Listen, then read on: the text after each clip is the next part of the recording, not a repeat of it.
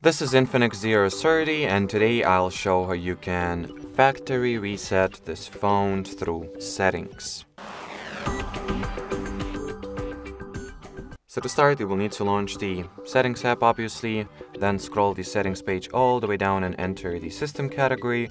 Here, uh, continue by tapping at the reset phone section, then go from all those options, choose the erase all data, erase all data once again, and confirm your choice by tapping at the same button.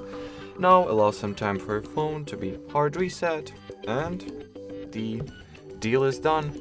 Uh, just make sure to back up all important data and files uh, from your internal storage to some, well, safe medium that you trust, should it be cloud storage, HDD, and maybe SD card.